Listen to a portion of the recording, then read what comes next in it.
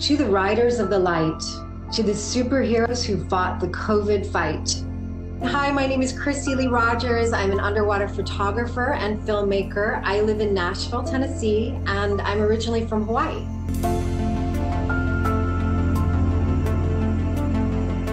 I love that water has a memory to it. It remembers the past. It's alive. It's this life force that we need to survive. It gives life.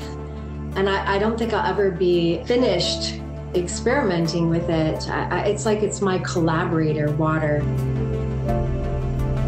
I think what I do differently than most underwater photographers is that I am shooting from above the water and I'm using refraction of light. So light travels slower in the water than it does uh, in the air.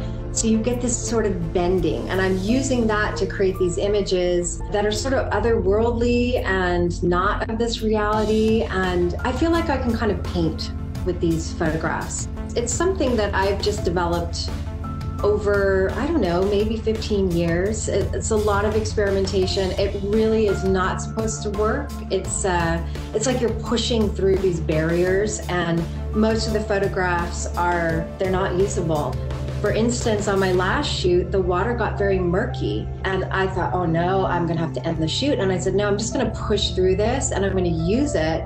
And then these images have a completely different feel to them. They're very soft, they're very painterly. So it's that pushing through that creates the hope and the beauty in the end. And that, that's kind of what the whole process is about. And I like that I don't know exactly what's gonna happen my vision for Riders of the Light was a very powerful image that was these these three sort of you know angels kind of lifting up and rising. So they're sort of looking down on humanity.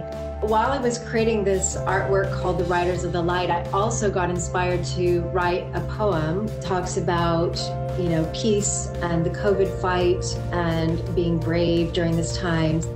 Here's to truth harmony beauty, love, and victory.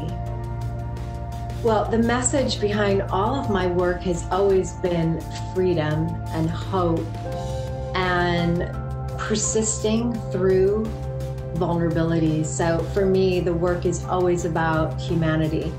And it's these lessons that I'm learning along the way. And I hope that other people will see themselves in the images and their own strength. And that the images inspire people to to be better and be stronger